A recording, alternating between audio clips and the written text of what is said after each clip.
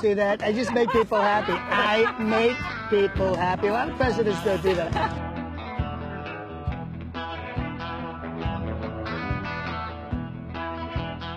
Where are you from?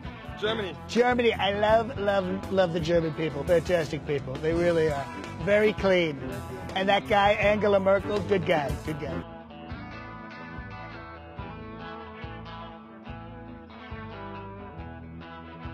Call me Mr. President, because that's what I, am going to be. Well, I'm not going to be there because I'm not going to live in the White House. To You're not moving into the White House? No, no, no, no, no. I refuse to live in government housing. And on top of that, it's very, very old.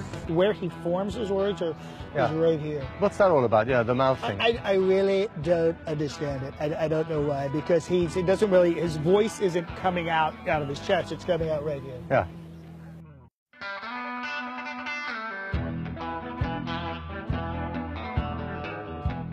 And you travel all over the country All doing this shtick. What's the impression that you get?